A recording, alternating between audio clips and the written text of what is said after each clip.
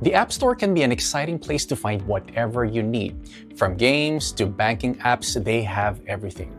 But when you scroll through the App Store, make sure to keep an eye out for malicious apps hiding among the legitimate ones. Most app stores have strong security protections in place, but cyber criminals are going to new lengths to try to bypass these regulations. So, how can you spot these malicious apps? First, always scrutinize app reviews and ratings. A genuine app will have a mix of feedback, both positive and negative. But be wary of apps with extremely low ratings and comments claiming the app doesn't work correctly. On the flip side, be wary of apps that have just a few reviews that are all 5 stars with limited vague comments, especially when it comes to bigger name brand apps.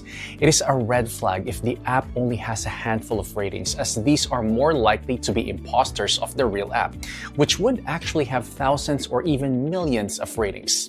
Second, be mindful of the permissions that the app requests. A simple game or calculator app shouldn't need access to your contacts, messages, or location. If you still aren't sure, take your investigation outside of the App Store.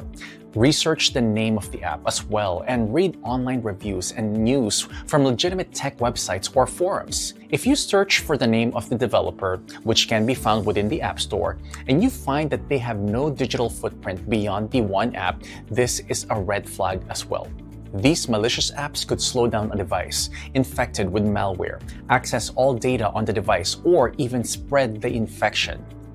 Now that you know how to spot malicious apps, what should you do if you accidentally downloaded one? First, uninstall the app immediately.